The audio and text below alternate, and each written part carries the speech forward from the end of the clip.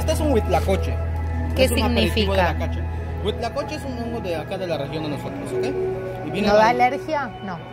¿Cómo? ¿Puede dar alergia? No. No, no, es un hongo, es un hongo, está Ah. hecho, es un hongo de lo que es madera, de la región de Yucatán. Ajá. Y tiene lo que es una emulsión de aguacate y abajito tiene un poco de queso y arriba igual queso y Qué un rico. de maíz blanco.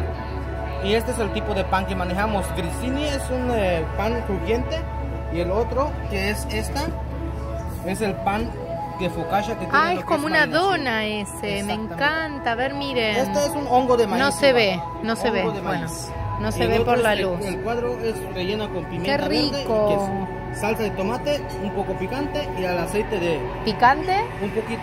¿Y esto? Ese es aceite de olivo con un poco de aceite de tuna. ¿ok? Bueno, muchas gracias.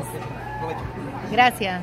Bueno, acá en Tulum, en Quinto, no saben lo que esperaba la cena en este lugar. Esto, esto para mí es orgásmico.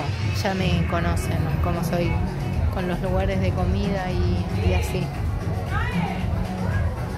Ah, otro blooper que me mandé, además de que me caí, me pegué un- el porrazo de mi vida en el puente, que después lo cuento, quedé agarrada de las dos redes, muy glamoroso y muy sensual el lugar, pero me mandé el peor blooper de mi vida. También me equivoqué y me metí en el baño de hombres, que como no tiene, ¿cómo se llama? Donde hacen los hombres, bueno, como no tiene, encima me confundí peor, porque pensé que estaba bien, primero no entendía el dibujito, y acá vino enfermería y, y lo- y la gente del lugar a sacarme fotos para reportar lo que había pasado en el puente colgante.